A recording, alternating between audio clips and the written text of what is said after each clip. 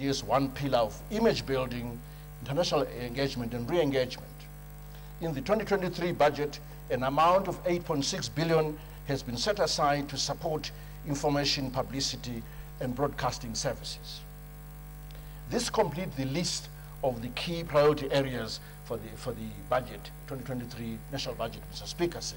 I now turn to the actual vote allocations for each uh, ministry that will support these pillars or priority areas. Mr. Speaker, say, let me now turn to the specific vote allocations. Vote number one, that of the Office of the President and Cabinet, has been set, uh, has been allocated 161.7 billion Zimbabwe dollars. This is to cover overall government supervision. Vote number two, this is to the Parliament of Zimbabwe, uh, which has received and were proposing an allocation of 47.8 billion Zimbabwe dollars to cover activities of this august house in their legislative and oversight roles. Vote number three uh, is for the Public Service, Labor and Social Welfare Ministry, which were proposing an allocation of 91.6 billion Zimbabwe dollars mainly for social protection programs such as BEAM, drought mitigation, harmonized cash transfers, as well as support towards people living with disability, among other social interventions, of course. Vote number four uh, goes to Defense and War Veterans Ministry, uh, uh, which is uh, proposing an allocation of 331.1 Zimbabwe dollars for the maintenance of defense and security, as well as to ensure the social and economic well-being of war veterans. Vote number five uh, is for the Ministry of Finance and Economic Development. We're proposing an allocation of 259.9 billion Zimbabwe dollars towards formulation of macroeconomic policies and management of public resources.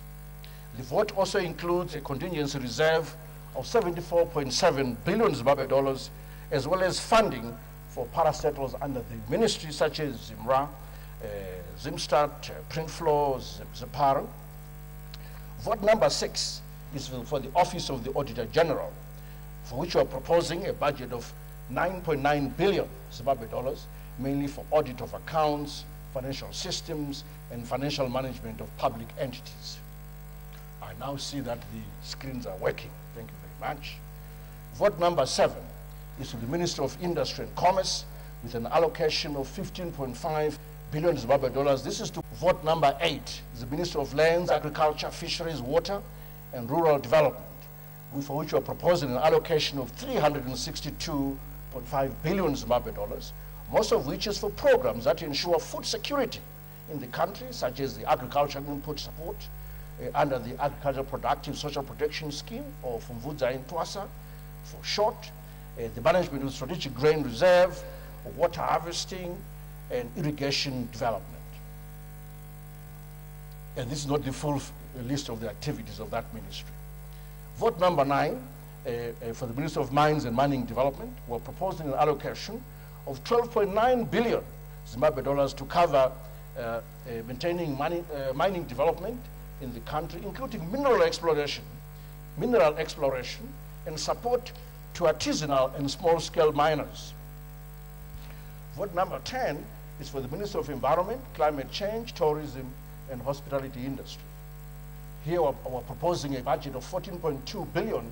This is to cover development and implementation of environmental and tourism policies and programs, including environmental protection. Vote number 11, uh, the Minister of Transport and Infrastructure Development, with an allo proposed allocation of 144.6 billion Zimbabwe dollars. This is towards the development of transport and transport-related infrastructure, uh, such as roads, airports, railways, and ports of entry.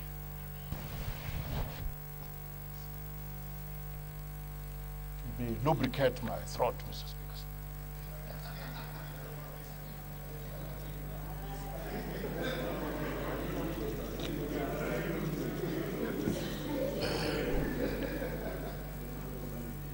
Someone is mentioning whiskey, there is no whiskey.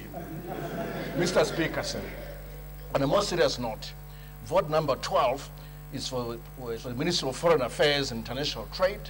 We're proposing an allocation of 81 0.9 billion Zimbabwe dollars to promote, protect, and safeguard the interests of the country, including uh, uh, driving their engagement and re-engagement uh, agenda processes, and protecting interests of our nationals abroad. Vote number 13 is aimed at the Ministry of Local Government and Public Works, and we're proposing an allocation to that ministry of 98.6 billion Zimbabwe dollars, mainly towards sound local authorities governance and provision and maintenance of government infrastructure. Vote number 14 is for the Minister of Health and Child Care, which is, uh, we're proposing an allocation of 473.8 billion Zimbabwe dollars. Uh, this is for the provision of healthcare services to, the, to our citizens. Vote number 15 is for the Minister of Primary and Secondary Education, and here we're proposing an allocation of 631.3 billion Zimbabwe dollars to provide quality infant, uh, uh, junior and secondary education, with the bulk of the allocation going towards payment of salaries for teachers and other learning costs or learning expenses. Vote number 16 uh, is for the Minister of Higher and Tertiary, tertiary Education, Innovation, uh, Science and Technology Development. Uh, we, are proposing an allocation of 156.5 billion Zimbabwe dollars, mainly for the development of a skilled and competent human capital, including support for universities, teachers' colleges, and polytechnic colleges. Vote number 17 uh, is for the Minister of Women's Affairs, Community, uh, Small and Medium Enterprises, and we're proposing an allocation of 18.5 billion Zimbabwe dollars uh, for women empowerment programs and uh, gender equality and promotion of small and medium enterprises development. Vote number 18 for the Minister of Home Affairs and Cultural Heritage with an allocation of 293 point, yeah, that's 293 billion Zimbabwe dollars, comment doesn't matter, mainly towards maintenance of law and order, registration and, and, and issuance of secure identification documents, as well as uh, migration management. Vote number 19 is the Minister of Justice, Legal, Legal and Parliamentary Affairs, which, for which we are proposing an allocation of 120.3 billion Zimbabwe dollars towards effective delivery of justice, incarceration, and rehabilitation of, of offenders. Vote number 20 for the Minister of Information, Publicity and Broadcasting Services with an allocation proposed allocation of 8.6 billion Zimbabwe dollars, mainly for information dissemination to the public and, and for image building purposes.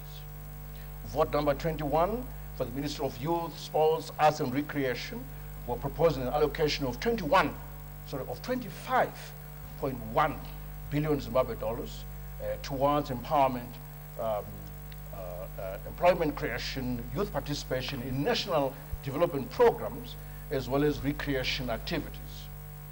Vote number 22 is for the Minister of Energy and Power Development. We're proposing an allocation of 15.5 billion Zimbabwe dollars for the provision of energy supply and the bulk of the allocation target eh, eh, and the bulk of the, uh, of the allocation targets electricity supply interventions. Vote number 23 is for the Minister of Information, Communication Technology, and Courier Services, for which we're proposing an allocation of 17.4 billion Zimbabwe dollars towards the promotion of, of access and maintenance of national systems and establishment of community information centers. Vote number 24 is for the Minister of National Housing and Social Amenities with an, with an allocation of 27.7 billion Zimbabwe dollars for the provision of affordable and decent housing. To undertake the constitu their constitutional mandate, independent commissions have also been allocated their respective budgets, uh, Mr. Speaker said. So uh, Judicial Services Commission is at 37.9 billion, Public Service Commission 107.5 billion, Council of Chiefs at 4.2 billion, Zimbabwe Human Rights Commission 4.7 billion, National Peace and Reconciliation Commission 3 billion, National Prosecuting Authority 11.3 billion, Zimbabwe Anti-Corruption Commission at 7.4 billion, Zimbabwe Electoral Commission at 101.6 billion uh, Zimbabwe dollars. All these are Zimbabwe dollars. Zimbabwe Gender Commission at 3.5 billion Zimbabwe dollars. Uh, Zimbabwe Media Commission at 2.6 Zimbabwe dollars, billion Zimbabwe dollars. And the Zimbabwe Land Commission at 10.4 billion Zimbabwe dollars.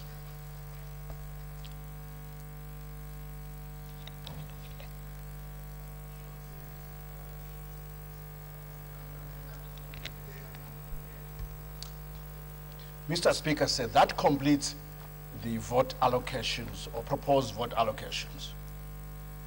I now turn to tax policy measures aimed at supporting uh, uh, uh, revenue mobilization for, to support this, these, these expenditures. Mr. Speaker, said the tax policy measures I'm proposing will largely focus on enhancing tax collections to support the transformation agenda through uh, reform of policy and administrative practices. Additional measures seek to support growth and competitiveness of local industry as well as provide relief to taxpayers. Let me start with support the industry.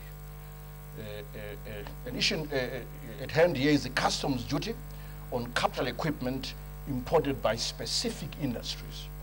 Mr. Speaker said, you recall that government in 2022 removed customs duty on capital equipment used by the agriculture, energy, manufacturing, mining, and health sectors with a view of reducing the cost of doing business as well as uh, for the simplification of tax administration. Uh, there remains scope to expand the list of such uh, capital equipment uh, in response to representations uh, by the productive sector. They've made strong uh, pushy representations. I therefore propose to remove customs duty on additional capital equipment, including but not limited to uh, qualifying products submitted by the agriculture and uh, energy industries. I now turn to the suspension of duty on milk powder. Mr. Speaker said, in order to augment local production and also cognizant of the need to provide the local industry ample time to invest in the necessary infrastructure and dairy herd towards self-sufficiency, I propose to gradually reduce uh, the ring-fenced milk powder imports under suspension of duty by an annual quota of 25% over a period of three years. Let me turn to the issue of suspension of, of duty on basic commodities. Mr. Speaker said, government suspended customs duty on basic commodities in order to cushion consumers from unjustified price increases. These uh, measures uh, have contributed towards uh, stability uh, of basic uh, prices of basic commodities. Um, uh, therefore, the suspension of duty has worked up to now, but it expired. That is, statutory instrument expired on the 16th of November 2022, and we don't intend to renew it or extend it. So it has expired. However, government will continue to monitor uh, prices of basic commodities with a view to ensure responsible pricing and affordability, failure of which the suspension of duty will be reinstated.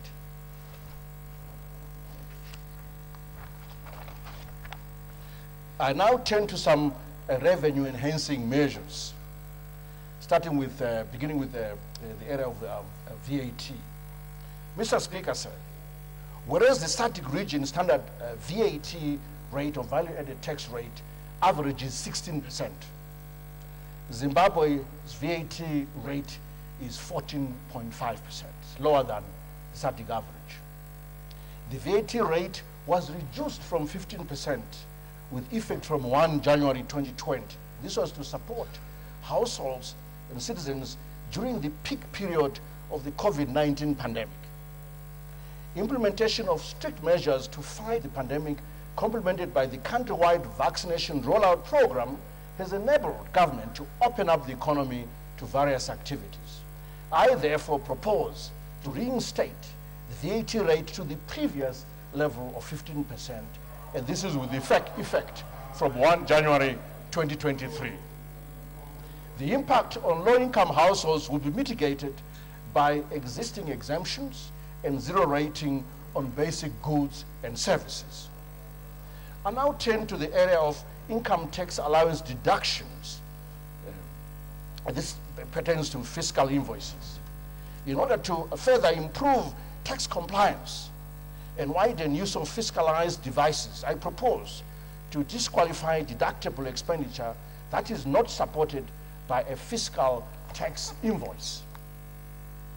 And I now turn to the issue of suspension of duty on capital equipment imported by the tourism operators. In order to enhance the sector's contribution to government revenue, I propose to replace the facility with the suspension of duty on specified capital equipment imported by the tourism uh, sector. Let me turn to some tax relief measure, measures, Mr. Speaker said, starting with the IMTT or the intermediated, intermediated money transfer tax on foreign currency transactions in the main. Mr. Speaker said, in order to promote usage of the local currency, government increased the intermediated money transfer tax, IMTT, on domestic foreign currency transfers from 2% to 4%. It has therefore been observed that some entities are now preferring to settle transactions in cash instead of electronic transfers or indeed banking uh, their, their US dollars. In order to promote use of the banking system, I propose to align the IMTT on foreign currency transactions to the rate of applicable local currency transactions at 2%. So it's going to fall, drop from 4% to 2%. In addition, government will consider reviewing other measures in order to strengthen the foreign currency system, exchange rate system, including the 20% surrender requirement for domestic foreign currency transactions. I turn to the IMTT uh, uh, exemption for, for certain other uh, transactions. In order to mitigate against higher wheat prices and consequently the price of bread and other wheat products, I propose to exempt from IMTT the transfer of funds to farmers for the purchase of wheat by, pri by private off-takers approved by the Agricultural Marketing Authority, AMA. This is uh, for the period 1 September 2022 to 31 March 2023. I now turn to tax administration measures. Mr. Speaker, sir, in order to mitigate against challenges that mainly emanate from use of physical physical devices, it is necessary to adopt virtual solutions that can easily adapt to technological initiatives, thereby complementing the already existing solution. I therefore propose to extend a virtual fiscal solution whereby clients will be linked to ZIMRA through server connectivity to accounting systems and point of sale solutions. A pilot project using selected uh, compliant clients will be implemented during the second quarter of 2023. Let me turn to other policy measures. Uh, a statement just on the payment of mineral royalties. Whereas the country is endowed with rich mineral resources, such resources are finite. It is thus necessary that part of the resources be used to build up fiscal reserves. Although uh, traditionally royalties are remitted in cash, it is pertinent that the current formula be reviewed in line with government policy to preserve value and mitigate against revenue loss. As already enunciated by His Excellency the President, Dr. Edim Mnangagwa, uh, mining houses will be required to remit royalties partly in the form of a mineral and in cash as follows. 50% 50% in the form of mineral consent and in the prescribed form of purity and, and quality of mineral consent. 10% in foreign currency cash and 40% in local currency. PGM miners currently do not have refining, uh, refining uh, facilities, hence sell semi-processed concentrates for further uh, processing. Mr. Speaker said, Section 302 of the Constitution of Zimbabwe requires that all government revenues, including royalty uh, revenue, shall be deposited into, this, into the Consolidated Revenue Fund. I therefore wish to emphasize that royalties paid in the form of minerals shall continue to be accounted for in line with the Constitution of, of Zimbabwe, but the, the custodian uh, will be the Reserve Bank of Zimbabwe for the mineral uh, deposit, mineral royalty uh, portion.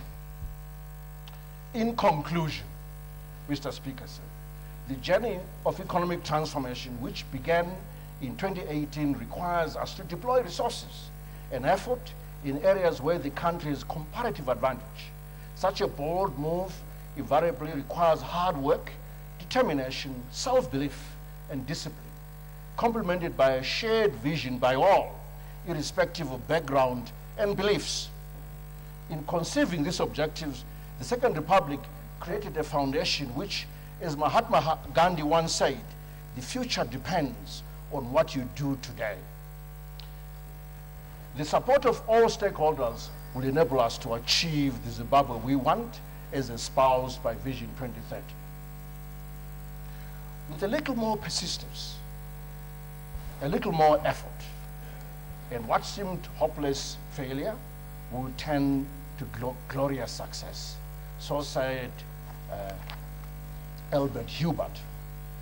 As we implement this 2023 national budget, we seek everyone's support so that together we can accelerate the economic transformation that is already underway.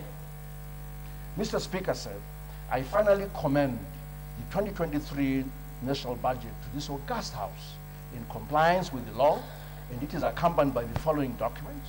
So it's the 2023 national budget statement, the 2022, um, sorry, the 2023 infrastructure investment plan, the 2023 citizens budget, the estimates of expenditure, otherwise known as the Blue Book, the finance bill, the appropriation bill, the statement on public debt, and a gender budget statement. I thank you, Jinote and Siyabonga.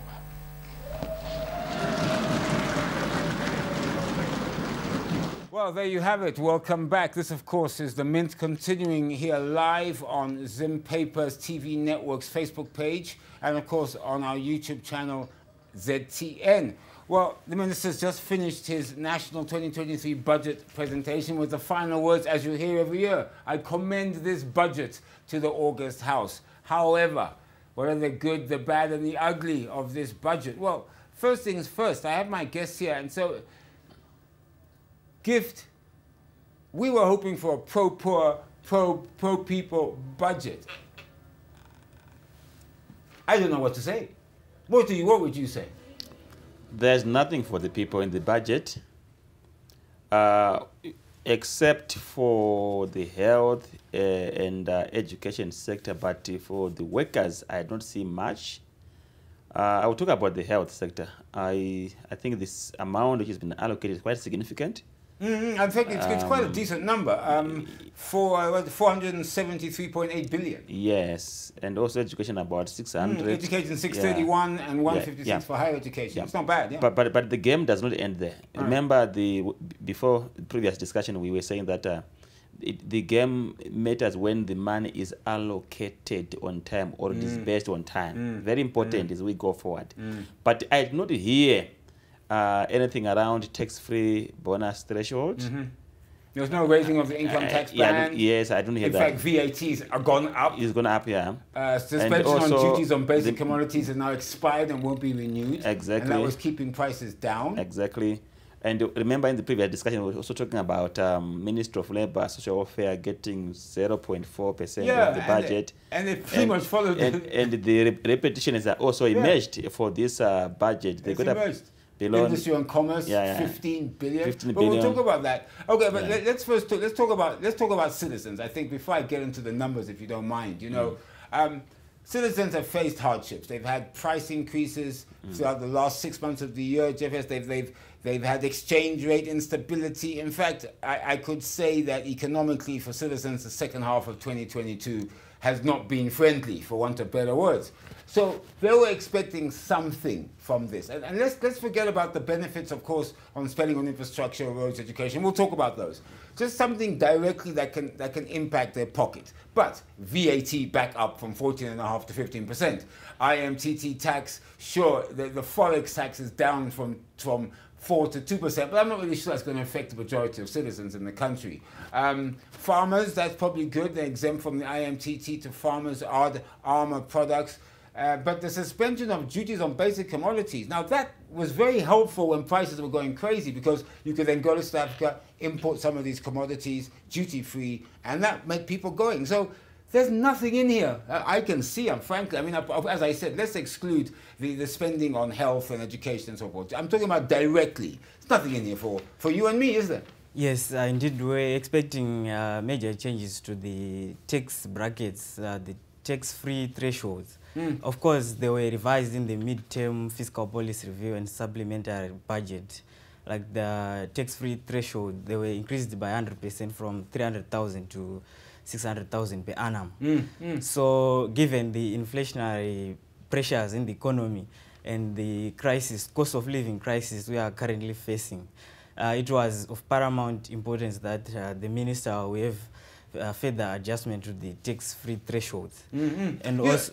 Sorry, please, yeah, please continue. Sorry, please yeah? continue. Yeah, I was saying also uh, by increasing VAT from uh, 14, 14 to 15. 15, it's also uh, putting more pressure, uh, like reducing the mm. disposable incomes mm. for the majority who are, uh, as we were discussing earlier, that about 49% are uh, in extreme poverty.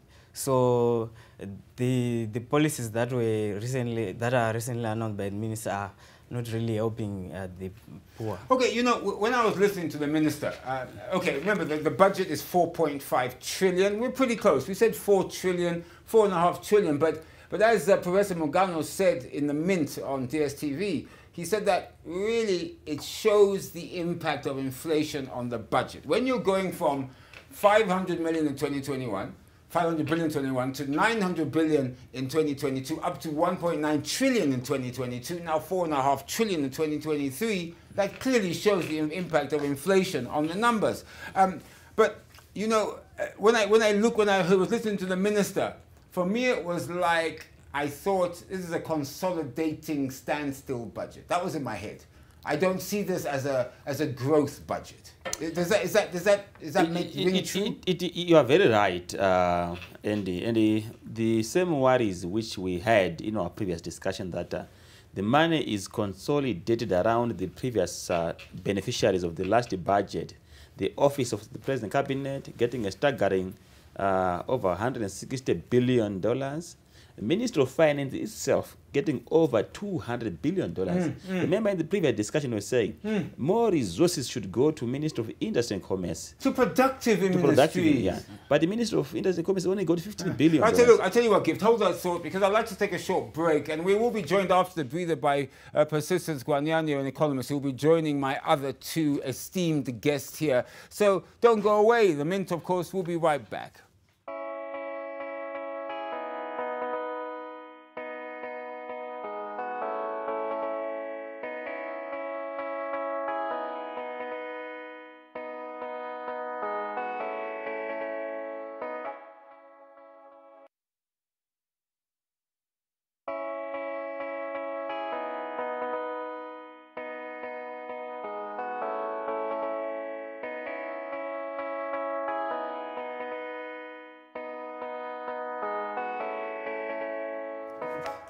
Welcome back. This is the Mint Special, and of course, today is Budget Day. The National 2023 Budget presentation is just being given by Zimbabwe's Minister of Finance, Professor Mthuli Ncube, at the magnificent new Parliament building in Mount Hampden. And as he said at the end, he commends this budget to the August House. And now we are hopefully trying to analyze this budget to our August viewers here on ZTN Prime. And of course, you're watching ZTN Prime on our Facebook page, that's Zim Papers TV Network, and of course, via our YouTube channel, ZTN. And of course, I'm joined by distinguished guests in studio today. I've got, of course, Professor Gift Mugano, who's well known. He's a well-known economist in Zimbabwe.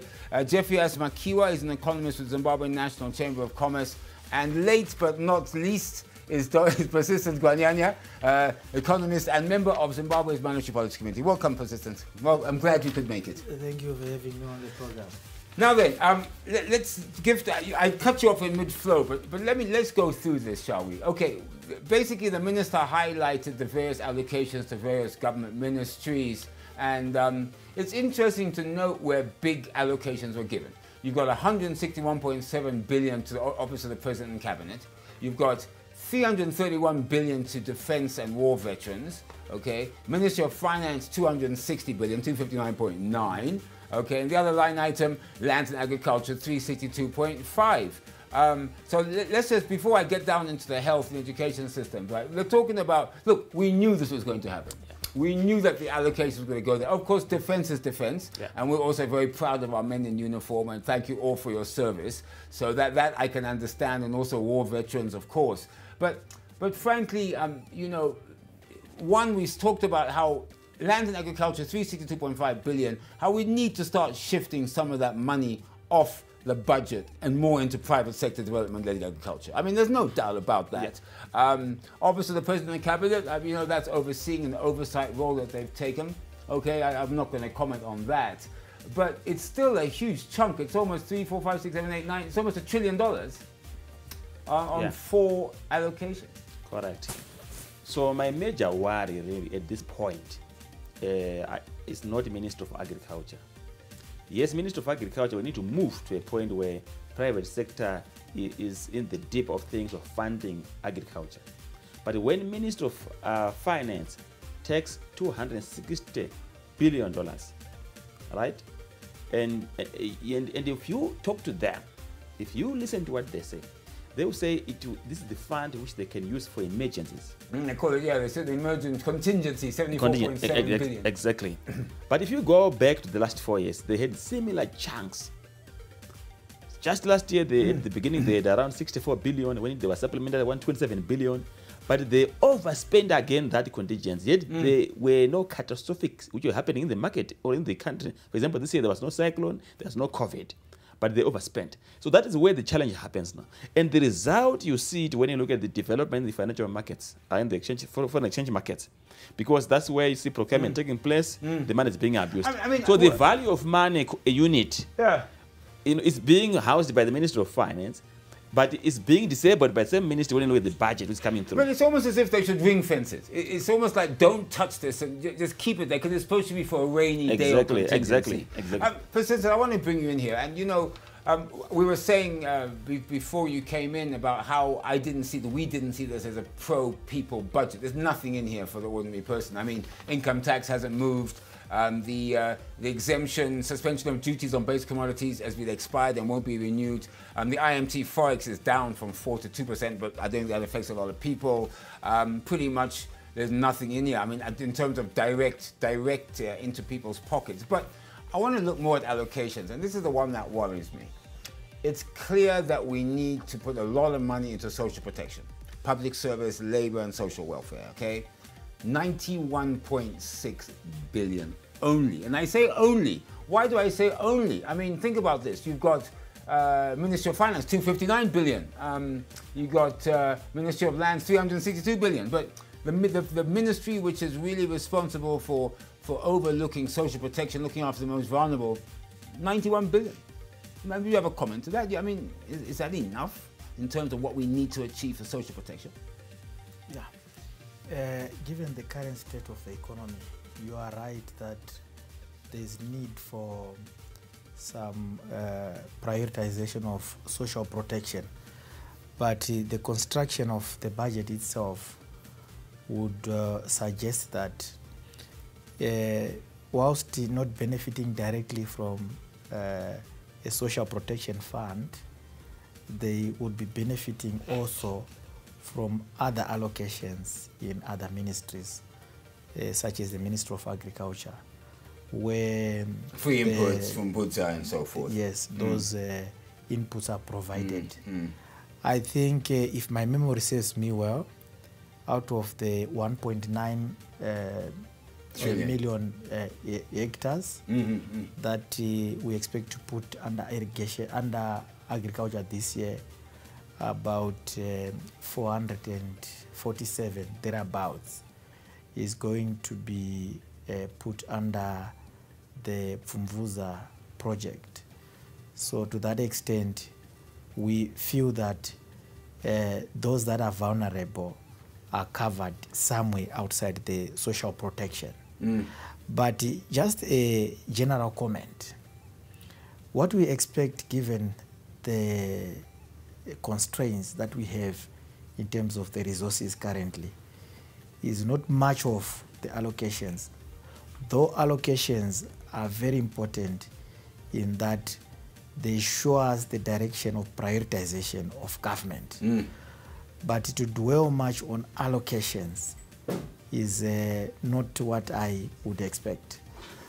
Um, we no, but in some cases you have to because yeah, this is about yes, building. Yes, like let's take health. Yes, yes. Uh, let's take uh, child, uh, child. Let's talk about education ministries. I mean, these are real issues. These are about funding salaries and funding construction of universities, upkeep of so forth. Th that's why I'm saying so much mm. on much on on the allocations. Okay.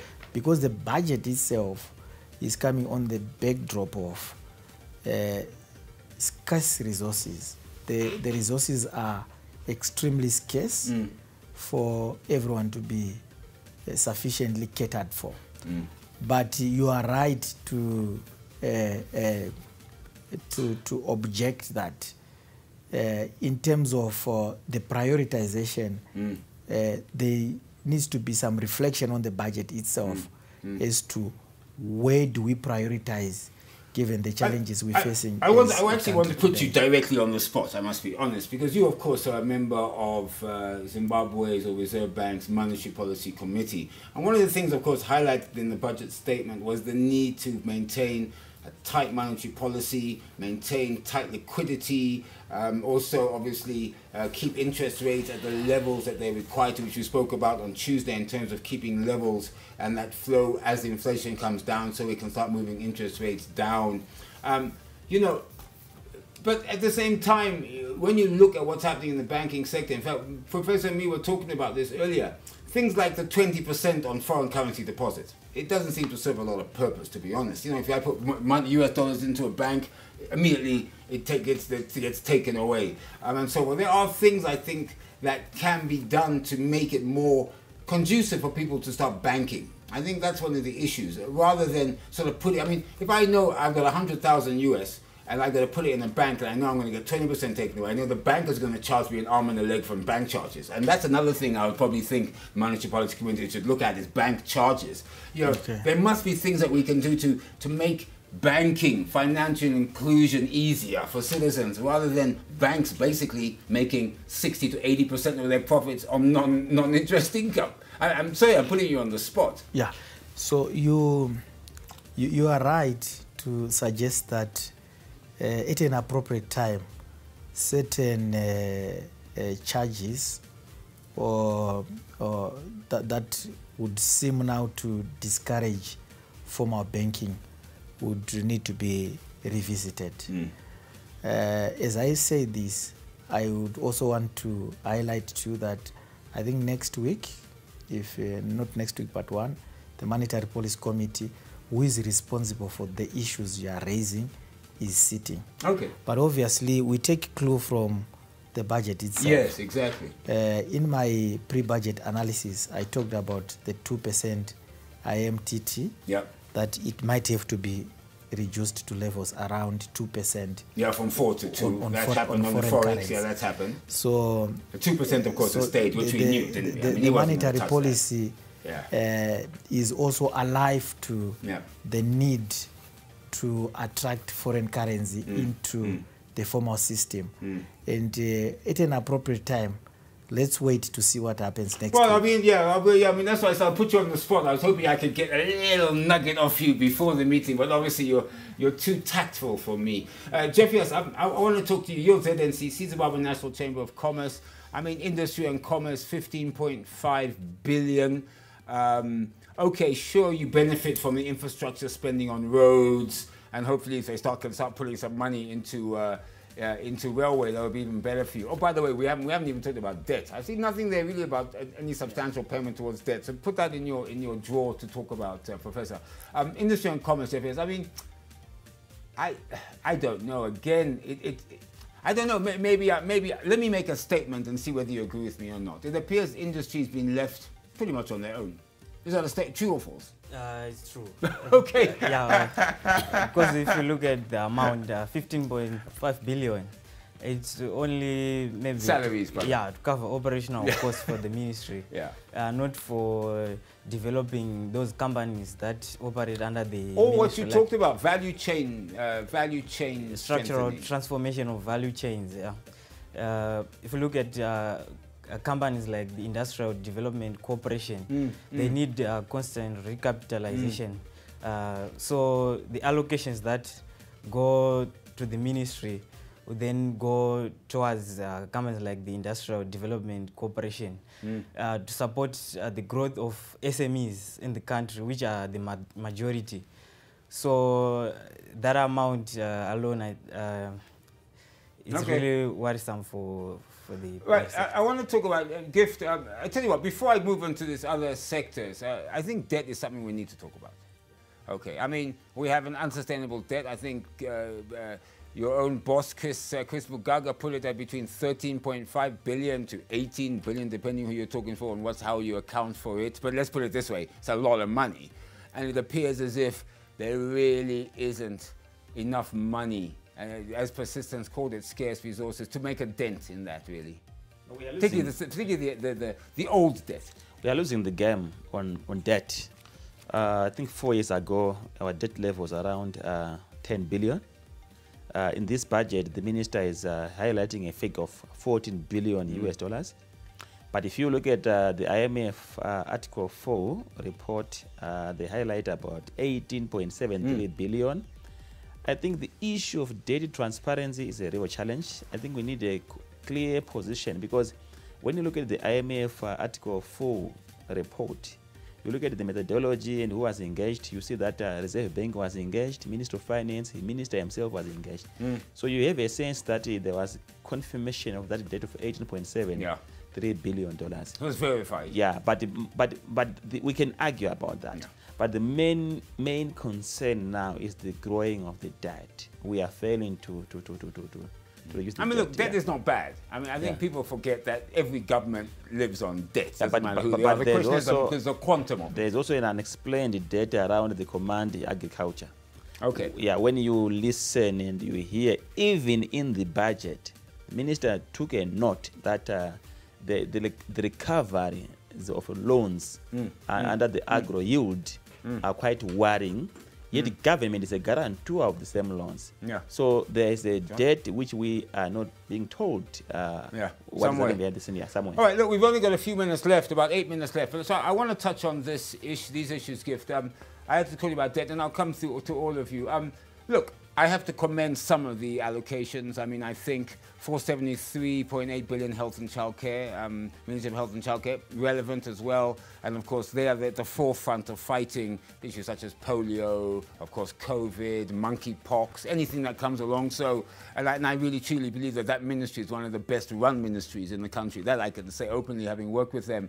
Obviously, education, you got primary and secondary, 631.3 billion. Um, Unfortunately, a lot of, well, not unfortunately, fortunately, the minister made a statement which I caught. He said a lot of that's going on salaries. That could be good news for teachers. Correct. So we also need to appreciate the minister. I think it's only fair. Uh, we were making submissions here that uh, it's adequate funding or significant amount of resources must go to health and education. Mm -hmm and um, he listened. Uh, so we mm. need to appreciate him for that. To, yeah. And I mean, and yeah. when you combine that with higher and tertiary, 156, yeah. that's almost 800 billion dollars on education. Correct. And Correct. a lot of that's going on salaries. So yeah. that's really cool. I mean, I'm sorry to use that word, but yeah, it is. Yeah, yeah. I think that that's quite good. But now the issue now for me, particularly in the health sector, Mm. Yeah, it's about a disbursement of the money on time. Again, yeah. Yeah, I think we've overemphasized this issue mm. because of its mm. importance. Mm. If you look at our health sectors, they've got serious challenges in terms of availability of consumables. So we would want to see that that paradigm shift mm. from yesteryears where uh, the ministry won't be able to even spend that money by mm. the end of the year. We need timely disbursement. I mean, there's some good things here. I mean, the government, the minister's talking about he wanted to keep a 1.5% fiscal deficit for 2023. Uh, remember, fiscal mm. budget deficit. Remember, yeah. you, you, have to listen to the words, yeah? yeah. yeah. it's important to understand mm. those words. Mm. Fiscal budget deficit yeah. uh, for 1.5%. Mm. Also, current, current account surplus, I think this year he reckons it will be estimated about 450 million US. -hmm. Um, obviously, the diaspora money is, is still coming in. I think 1.4, 1.6 billion US is coming through diaspora. Um, but persistence, you know, um, some areas where uh, one, I, am not sure, maybe I missed it, but um, okay, transport and infrastructure development, 144.6 billion. I understand that, of course. I don't have an issue with that. In fact, I think it's too low, to be frank. I think we need to spend a lot of money on beefing up our transportation system and, and spending more money on, on infrastructure. Um, the issue I have, to be frank with you, and, and I didn't maybe pick it up, was devolution. Did you pick it up? No. Because de devolution is, is the way forward. I mean, that is the policy, in fact, it's constitutional. Mm. Yet I didn't really get any yeah, but I didn't really get a sense of the number in here. Mm. I don't know, maybe I missed it. Yeah. Hopefully no, no, I missed it. You said 5%, eh? We, we missed it. Uh, we don't hear about it. Yeah. But uh, it's also fair to say that uh, previously they used to allocate 4.5 instead of 5%, which is the constitutional requirement. Right. But there are also indications uh, that uh, this year's man resources were not dispersed because mm the of uh, it wasn't dispersed. Yeah, so th that's again a In fact, up to now, I yeah. believe only 30% or so has been dispersed. That's a challenge. And even then, it was being dispersed for specific projects like mm. water. Correct. In fact, the ministry would allocate mm. the funding to the authorities and then say you must spend it. You must spend it on that. Mm. So it wasn't really a true devolution, which is what we need to get to. Correct. But President, let, let, me come to you. I mean, there was a whole list of. Um, Home Affairs, of course, the police, 293 billion. Again, we always salute our, our men and women in uniform, whether you're army or whatever security services. Thank you very much for your service. Uh, you've got justice, 120.3 million. Okay, um, yeah, I can appreciate that. The courts, and obviously a lot of that's going on salaries. Information, 73. Um, but but I, I want to look at the commissions. And, and this, this sort of, you know, okay, we talk about being serious about fighting corruption. Okay? In fact, that is one of the planks and pillars of the Second Republic. ZACC, 7.4 billion. That's how much they were allocated. Now, yeah. I'm not sure that's enough resources to fight the kind of corruption that, that we know or we allegedly know exists. Persistence? Yeah, you could be right. Uh, deliberate, uh, um, deliberately, I think, and consciously, we need to allocate more resources mm. towards that function, which I think is the urgent need of day, as mm. you indicated. Mm. Um, suffice to mention that if uh, we fight corruption uh, diligently, uh, all the ills that we're facing, most of them. Can you imagine how much money we can make yes, if we fought corruption effectively? They would wipe out the cost of the budget. yes, they will naturally fall in place. Yeah. Yes. Yeah. Yeah, but um, that's well, yeah, that's what we have. Yeah. I mean, okay, ZEC. We talked about the uh, impact of the election on the budget. 101.6 billion from ZEC. That seems like a reasonable amount, to be frank, to hold a harmonized yes. budget elections, doesn't yes. it? I mean, yes. it's not bad. Yes, uh, I was expecting a higher number, but that's okay. Yeah, but remembering, we also received uh, some assistance from EU mm. recently, mm. Mm. and um, maybe just to, to remark on the issue of election. Mm, mm. There's been fear, as it has always been, that uh, pending an election or towards an election or in an election year, uh, the situation is likely to spin out of control mm, mm. because of um, the overspending, overspending of yeah. government yeah. that is expected. Um, and uh, I think it is very important to also comment on that. Mm, mm, uh, mm. With the value for money processes that are going in government, uh, no matter how much is going to be spent, I think the principle of right price should always be. It doesn't matter what it is, yeah. If right. it is anything that we yeah. are spending, Election as long as we are spending at the right price. Mm. So right. that concept remains mm. very important mm. for government to observe, yeah. and uh, for I the agree. ministry to monitor observance. Well, uh, unfortunately, on that note, we have come to the end of our main special. And of course, today, as you know, was Budget Day. The Minister of Finance, Professor Mthuli Ncube, at the magnificent new Parliament in Mount Hamden, presented his 2023 national budget. Uh, I'm not sure if it was pro-people. I'm not sure if it was pro-poor. I'm not sure if it was pro-women or even pro-persons with disabilities. I believe, and I think my guests will concur, at least maybe two out of three, I don't know, may concur that it could have been a, a, a treading water budget, a, a, a, sort of consolidation budget. Maybe that's the right word for it, uh, gentlemen. I think this is what we're looking at here. We're not looking at anything exciting. He, did, he didn't do anything out of the ordinary. He allocated the way he thought he should allocate. Uh, he didn't put in any place new radical policies that will make anyone's life better. So it's, it's a treading water budget, I think, a budget that maybe consolidates the economic gains made so far. That would, I think that would be a true statement. Yes. So, Andy, uh, in terms of the expectations, I think most of the things that I expected came out. Mm.